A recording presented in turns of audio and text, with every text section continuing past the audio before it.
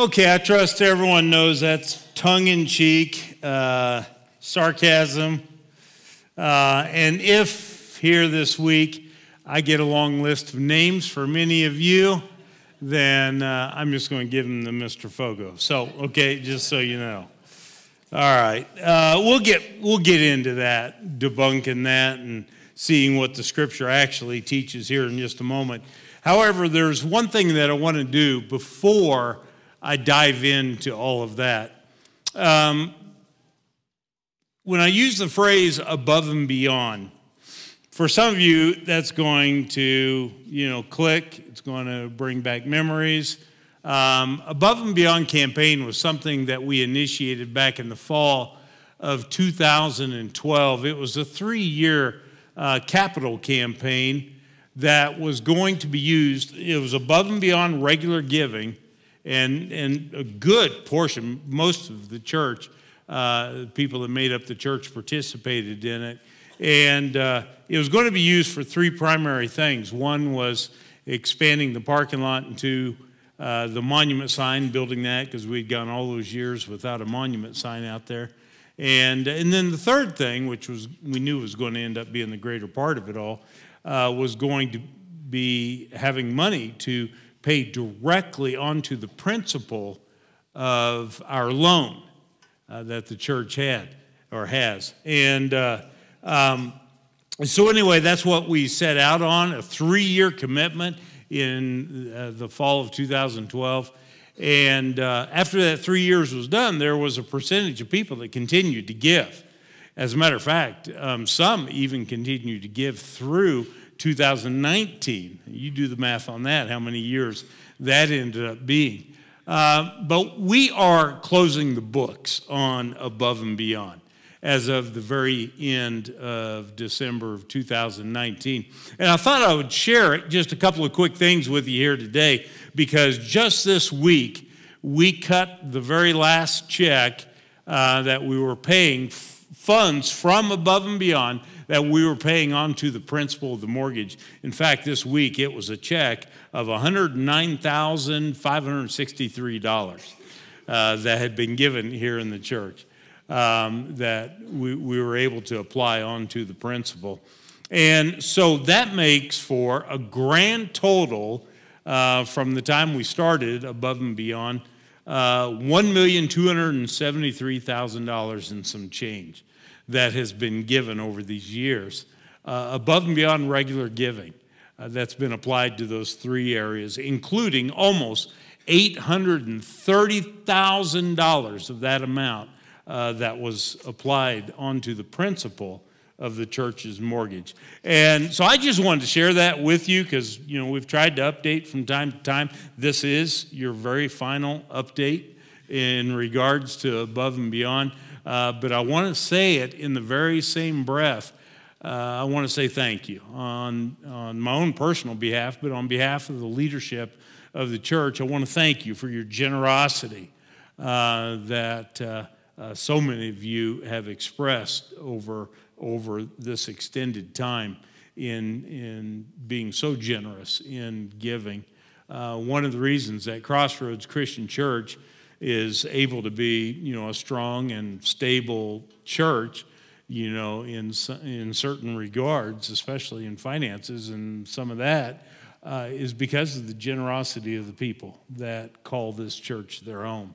And so thank you for your generosity over the, the last several years. All right. So, what I want to do now is I want to jump into the message and show you how off that video really was. And we're going to we're going to jump right into a verse. Just immediately, kind of like last week, we're immediately jumping into a verse, and you're going to see this verse at least five times. Um, through the message today. It is on your outline, it is the memory verse for today's message. It's 2 Timothy chapter 2 verse 2. So it's fairly easy to remember the reference because you just think all twos. 2 Timothy, Paul wrote two letters to Timothy. This is the second one. It's chapter 2, it's verse 2. And here's what he said. The things you have heard me say in the presence of many witnesses. Entrust to reliable people who will also be qualified to teach others. Now, there's an important principle that is found in his words uh, of this verse, and it's a pretty unique verse, all in all. In fact, a very unique verse, because whether you recognize it at first glance or not, there are four generations represented in that one verse. And I'm not necessarily talking about biological uh, generations, I'm talking about spiritual generations primarily, but it could include and should include um, biological as well. But look at it again. Paul is the one that is writing this. He says, The things you have heard me say. Okay? So Paul is generation number one, and the you uh, represents Timothy, who he's writing to, and that's generation two. The things you have heard from me, basically.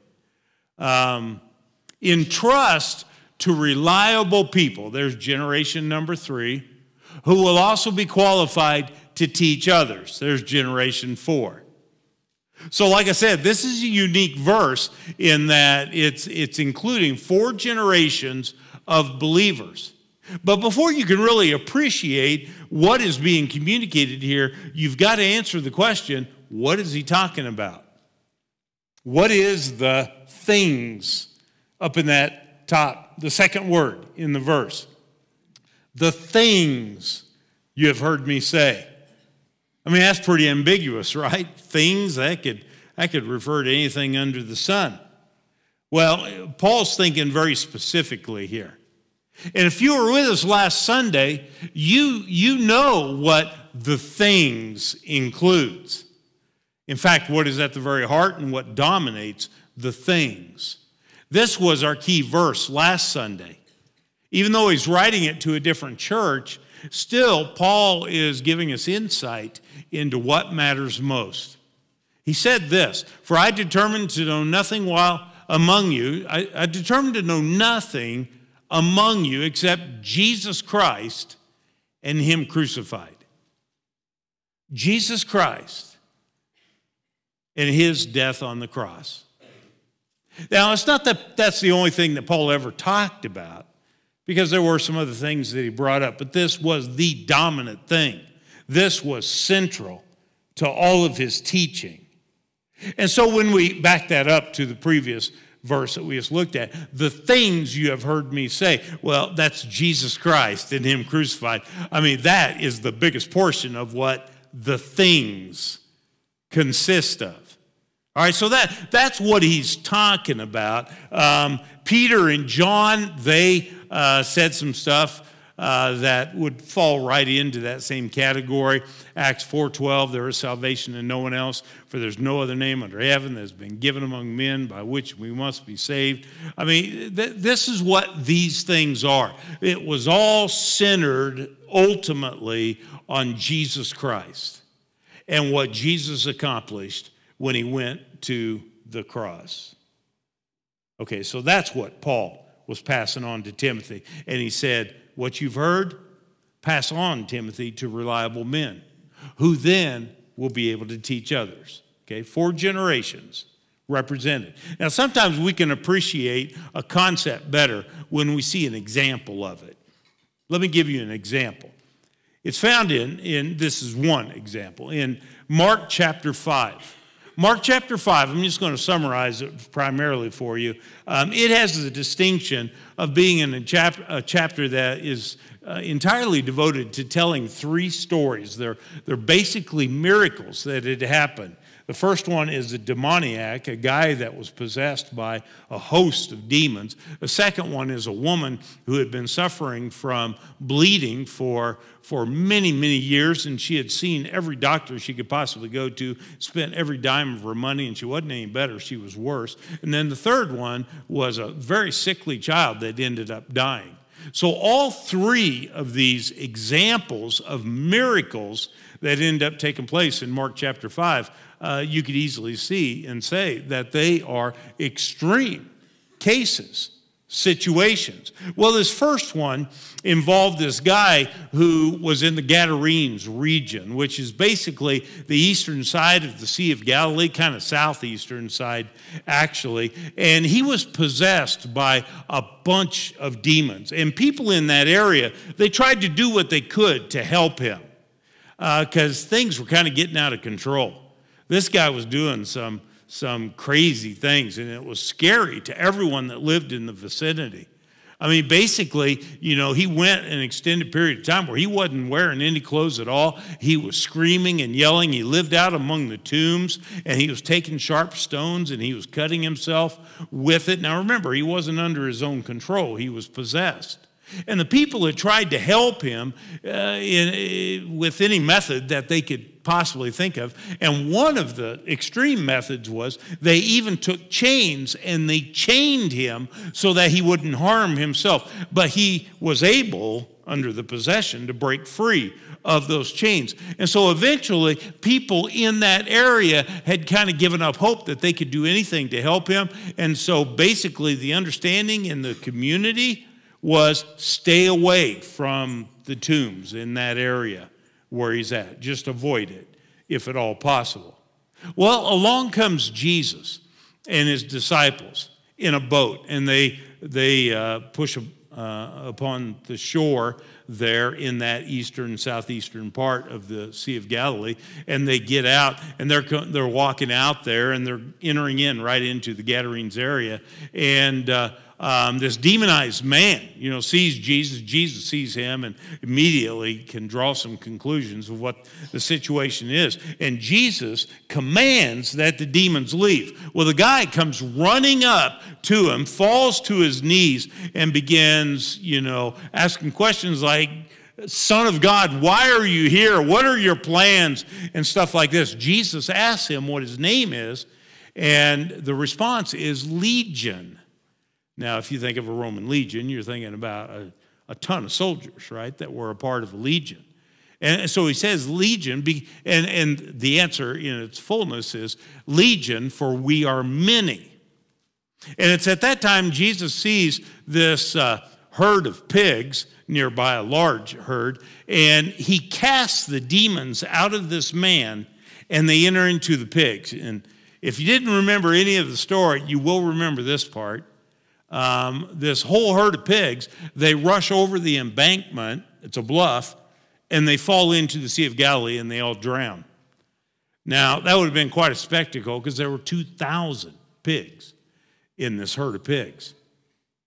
And, and now, all of a sudden, this guy who had been possessed for who knows how long, um, now he's in his right mind for the first time. And uh, next snapshot picture we have of him is he is dressed and he is sitting there among Jesus and his disciples. Now, people from the local community, they catch word about what had just happened, and they're making their way out there to check this out. And you can just imagine as they're glancing into the sea and they're seeing all these pig bodies floating around like bobbers out there in the water, you know, and some of them up on the shore and all. And then they see the guy that notoriously had caused them to avoid this whole area, but yet he was sitting there in his right mind, his whole expression, everything is different. Now, they don't understand how's that possible? But, you know, somewhere along the line, they learn that it's due to Jesus. But since they don't have an understanding of how this person was capable of doing this, you know, sometimes what we don't know can cause can stir up fear within us. And it was stirring up fear within them. And they started commanding that Jesus and his disciples just get out of there, get back in their boat, and leave. And Jesus isn't going to stay anywhere where he's not wanted. He's not going to force himself upon people. So, indeed, Jesus and the disciples, they make their way to the boat and they climb into the boat. But they're not the only ones trying to climb into the boat. You could probably guess who the other person is. It was the guy that had been demon possessed. I mean, Jesus had done something for him that nobody else had ever been able to do. And he didn't want to allow Jesus to get out of his sight. He wanted to be with Jesus. But I want you to see what Jesus said to him. It's in verse 19. Jesus said, No, go home to your family and tell them everything the Lord has done for you and how merciful he has been. So here, this guy has the intention. He wants to continue to be around Jesus. He wants to climb into the boat, not knowing where Jesus was going. He, it didn't matter to him. He just wanted to be with Jesus. And Jesus says, No, no. You go home to your family and you tell them everything the Lord has done for you. The very next verse, we read this. So the man started off to visit the 10 towns of that region. That's called the Decapolis. Um, it, it, was, it was a fairly small region, and there were 10 villages uh, in that area. And, uh, and that's where he went, to those 10 towns. And he began to proclaim the great things Jesus had done for him, and everyone was amazed at what he told them. So Jesus had given him instructions nope, you're not getting into the boat. Go back to your home and tell your family, tell your relatives. And apparently, this guy in that area had relatives that were in more than one location. They were spread out in these towns. And so he just started going from town to town. And he was telling the news of what they had done for him. There's something that we can clearly see in that story, um, but also as a part of our main verse here today that I want us to clearly see today. And it's not just a fringe, tiny detail as far as our faith is concerned. This is a core component of our faith. Remember, this series of messages, eight part series, um, seeing clearly in 2020. And what we're dealing with are eight um, different core components of our faith and, uh, and how we need to be careful that uh, we understand, you know, what it is the Bible is teaching on this. And so let me start it off by saying this. As a believer, this is what we need to know. You are a part of God's redemptive strategy. You are part of God's salvation plan. You're part of it. And, and that's the thing that we're seeing here, whether it be in 2 Timothy 2 2, or you're looking at Mark chapter 5 and you're seeing this previous demoniac guy and the instructions that Jesus gave him. Now, let me qualify that or explain that a little bit, because the reality is that you don't have the power in and of yourself to save anyone. It needs to be understood. You do not have the wherewithal to save yourself let alone save anyone else, no matter how badly you might want to do that. But what you do have is the gospel message of Jesus Christ. As a believer, that is what you do have. And that's no small thing. In fact, that is a matter of first importance. That's the way Paul described it in 1 Corinthians 15, verse 3. The gospel is a matter of first importance. It's not a secondary sort of thing. And you've got that message if you're a believer. And I've got that message. And I like the way Paul spoke of it in the beginning of his letter to the church in Rome. Romans 1:16 he said, "For I am not ashamed of the gospel, for it is the power of God for salvation to everyone who believes, to the Jew first and also to the Greek." This applies to Jewish people but it also applies to non Jewish people. Okay, well, that pretty much covers all of us. And Paul said, I'm not ashamed of it, not ashamed of the gospel. What is this gospel? This gospel is that God so loved the world that he sent his son into this world to do something that was uh, uh, amazing, incredible, and that was to offer himself after having lived a perfect life. He offered himself as the ultimate sacrifice. He voluntarily allowed himself to be taken and to be crucified, though he could have stopped the proceedings of that at any moment that he wanted to, but he knew he needed to do that in order to accomplish what his mission was for coming into the world. And that was to die on the cross so as to be the one who could pay the penalty for your sin making it possible for you and for myself to be forgiven of our sin and to have a home in heaven in the presence of a holy God reserved for us. Though we, by our own right, by our own doing, did not qualify to be holy. But that's where Jesus stepped in, and he did that for us. And by the grace of God, we appropriate that holiness That is what the gospel message is. And that's what Paul is saying. I'm not ashamed of that. I'm not ashamed of the gospel because it is the power of God for salvation to whoever believes. It is a matter of first importance. And here's the thing about that before someone can receive that, before someone can embrace that, before someone can, can have that, they need to hear the message. They need to hear it. And that's where you and I come into play. Later in Romans, Paul said it like this in Romans chapter 10, verse 13 For everyone who calls on the name of the Lord will be saved.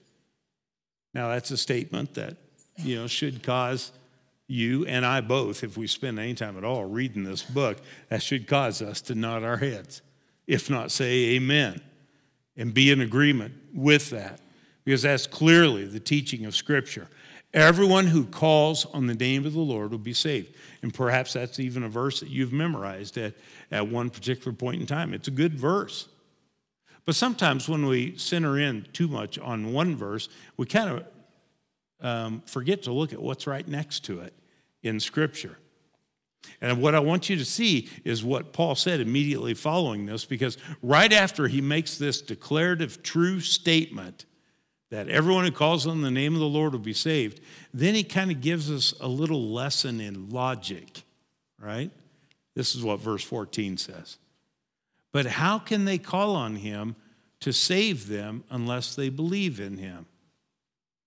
And how can they believe in him if they have not heard about him? And how can they hear about him unless someone tells them? Ah, and this is where it comes back to us. This is where you and I come into it all. You know, the, the amazing thing about this, when you think about um, the, and how God has chosen to spread the message, the good news of this gospel. Uh, the amazing thing about it is that God had at his disposal any of a variety of ways of getting that message out. I mean, God is God, right? So, I mean, you can't put limitations upon God.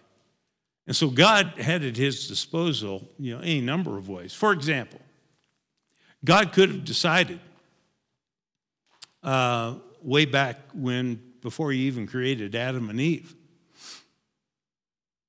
God could have decided that every full moon, the gospel would be broadcast on the face of the moon. He could have used that like a chalkboard and he could have written a message for us to see and hear about the importance of looking to him and the Savior that was to come. And then when Jesus came, the Savior that came.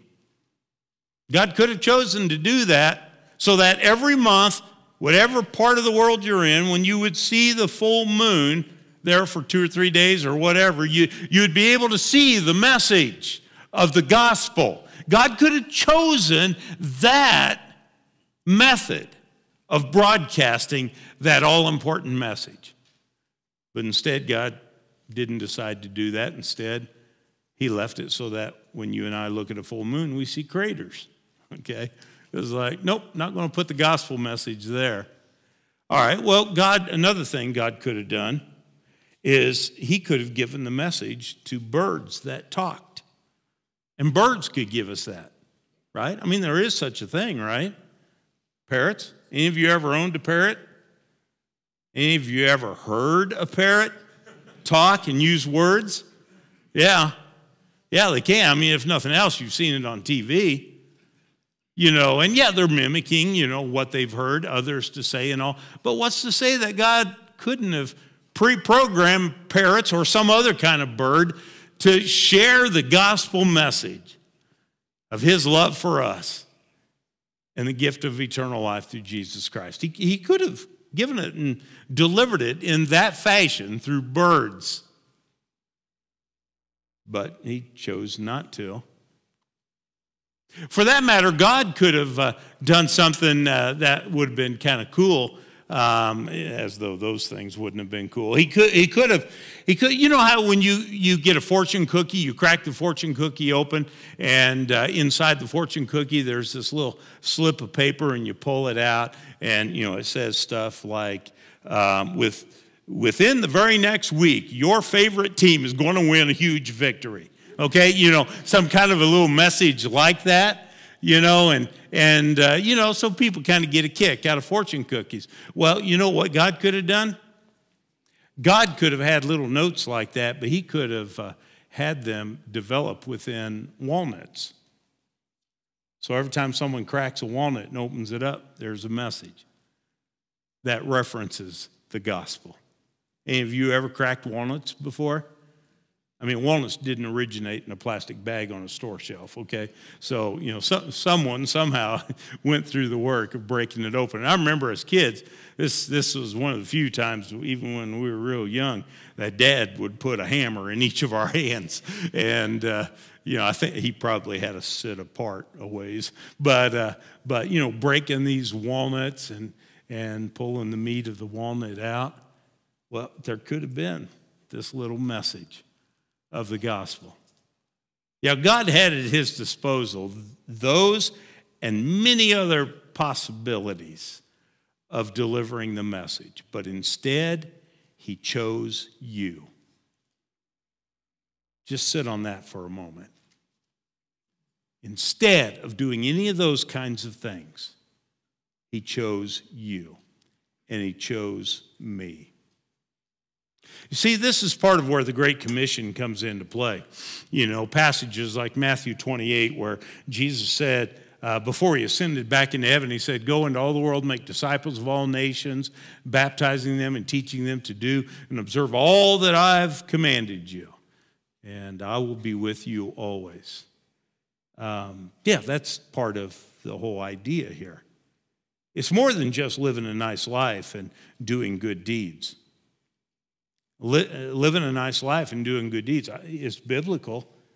You and I, we ought to be known for our good deeds. I could show you various scriptures that teach that, that we should be known for our good deeds. But we got to be careful to carry this thought too far because some have carried it so far that little expressions like this have become well known. St. Francis is credited as saying, Preach the gospel at all times if necessary, use words.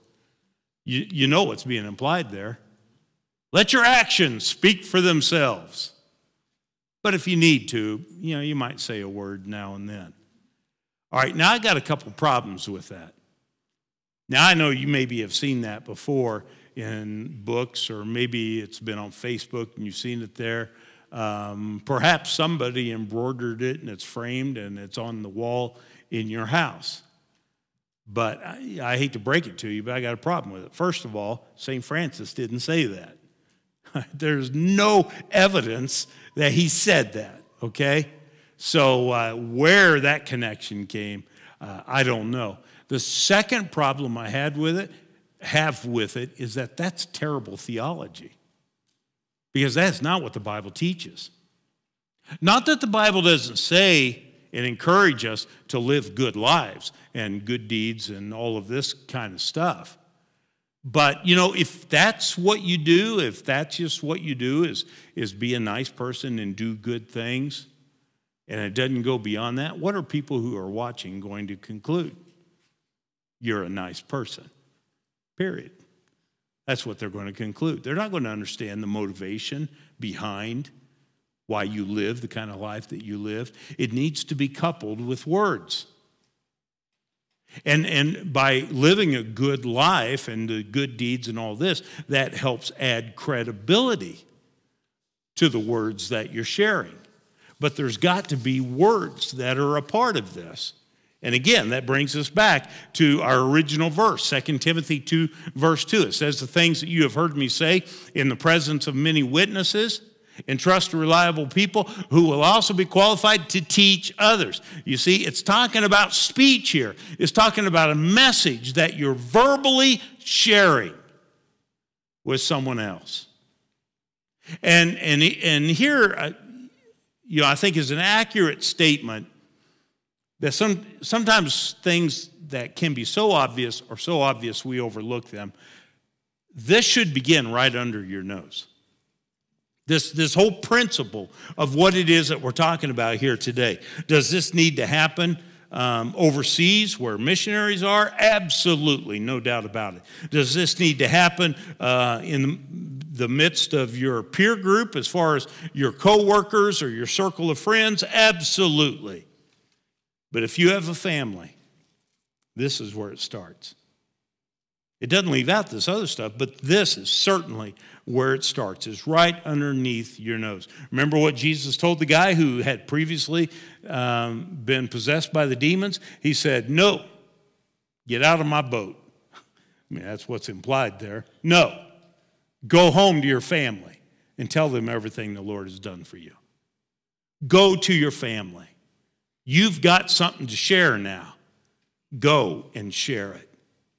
There are multiple passages that reinforce that. Let me just for a moment just stay in the Old Testament because I want you to understand that this kind of approach to things is something that isn't something new that just pops up in the New Testament in the writings of Paul, but rather you can go back in the Old Testament and you will see that this is kind of the way God has operated in the past. For example, Psalm 78, there are two verses in particular that, that really drive this thought home. It says this We will not hide these truths from our children. We will tell the next generation about the glorious deeds of the Lord, about his power and his mighty wonders, so the next generation might know them, even the children not yet born, and they in turn will teach their own children. I don't know if you've added it up, but there's three or four generations right there in those two verses. You see, 2 Timothy chapter 2, verse 2 isn't the only place where you find something like that. You find it here. Now, in this passage, it's primarily thinking more along the lines of the biological generations, but it's still the very same principle that is being spoken of. Look at this one in Deuteronomy chapter 6, the chapter that immediately follows where the Ten Commandments are listed in Deuteronomy chapter 5. Through Moses, this is the message. These words that I'm giving you today are to be on your heart. Repeat them to your children. Talk about them when you sit in your house and when you walk along the road, when you lie down and when you get up. You see, this is something that, that you know, the, the, all these commands, Moses is talking to a different generation than those that had crossed over um, the Red Sea, okay, because that whole generation had died off. Now this is the, the kids that have all grown up. They're the next generation. And he's saying these things, and he lists out the Ten Commandments among these others, and, and he says, This is the kind of stuff you need to be telling your kids.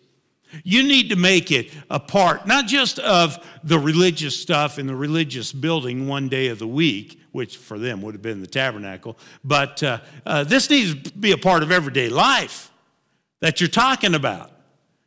Whether you're engaged in something with your hands, whether you're walking, whether you're lying down, that's beside the point.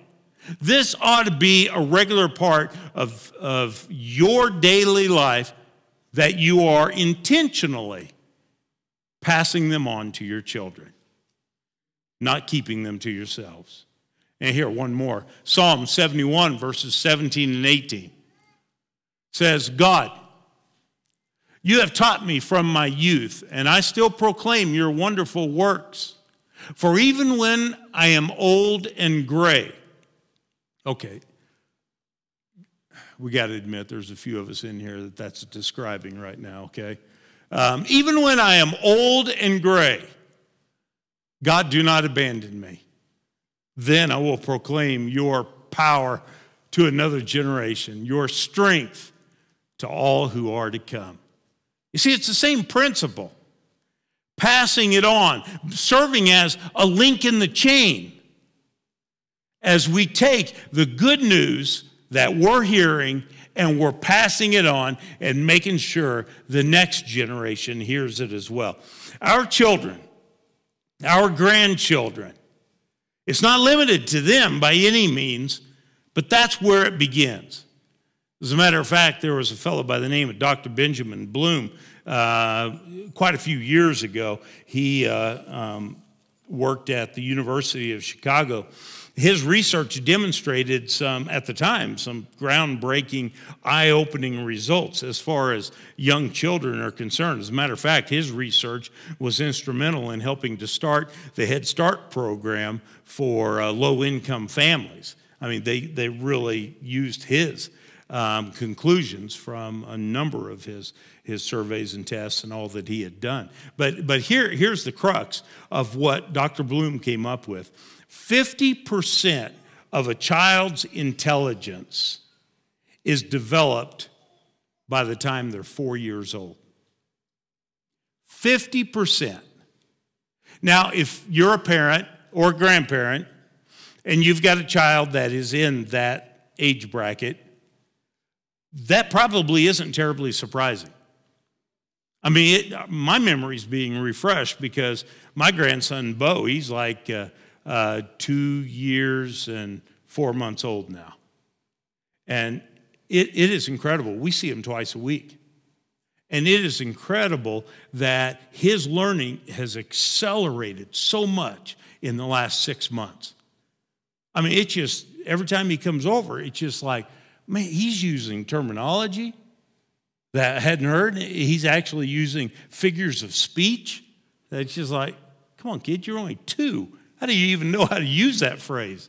And, and uh, I mean, he is learning so much, but that's part of what Dr. Bloom was uh, discovering is that 50% of a child's intelligence is developed by age four. And he went on to say this another 30% by the age of eight.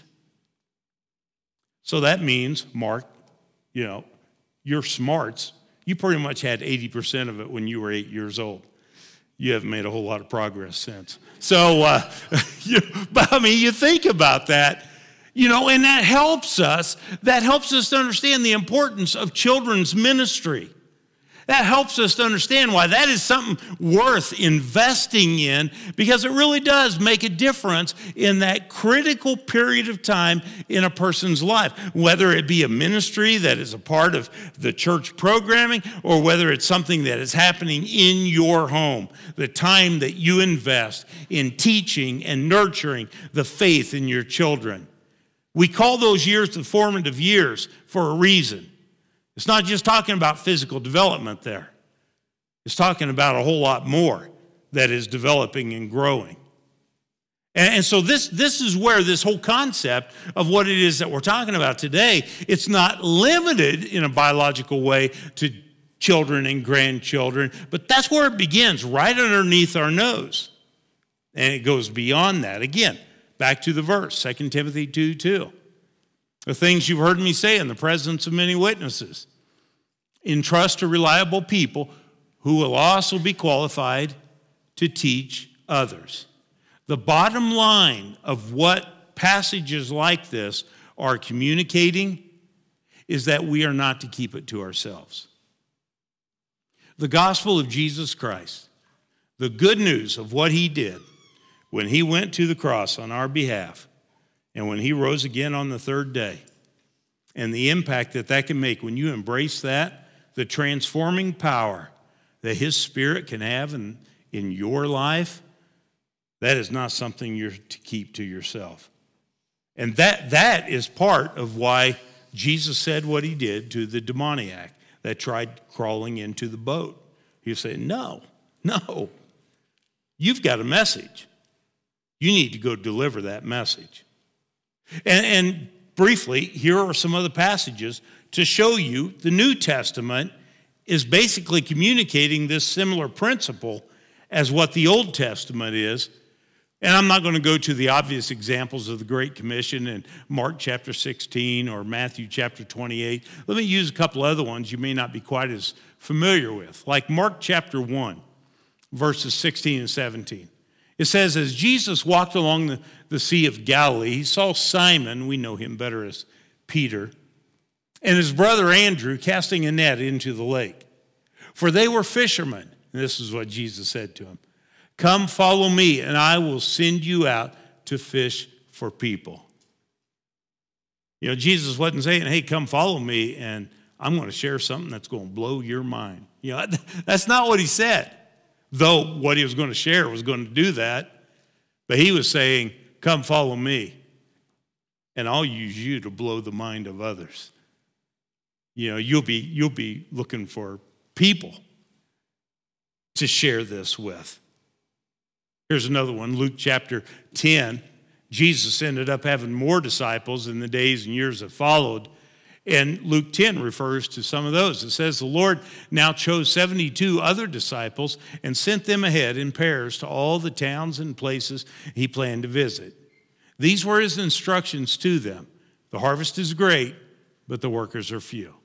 So here he is sending, sending other disciples out in pairs, like was that 35, 30, 36 pairs, sending them out, you know, because uh, they've got a message to share as well, to kind of prep the way because Jesus was going to be following. Okay? All right, well, let's get out of the first century. You know, a number of years later, Paul said this, but this principle applies not just to the church in Corinth, but even to the church here in the 21st century. Second Corinthians chapter 5. He said this For God was in Christ, restoring the world to himself, no longer counting men's sins against them, but blotting them out. This is the wonderful message he has given to us to tell others. We are Christ's ambassadors. God is using us to speak to you. We beg you, as though Christ himself were pleading with you, receive the love he offers you be reconciled to God. You see, the Lord wants us to share the news. He doesn't want us sitting on it, He doesn't want us to keep it to ourselves. As a believer, I am sure you have a testimony. Whether you had embraced Christ, received Him into your life 50 years ago, or whether it was sometime in the last year, the reality of the matter is, you have a testimony. You have a story to tell about how the Lord not only saved you and forgave you of your sin, but has actually changed you into being a better person. You have a story, so tell it, share it. See, that's what Jesus was getting at with the demoniac. And that's what Paul was getting at in 2 Timothy chapter 2 verse 2.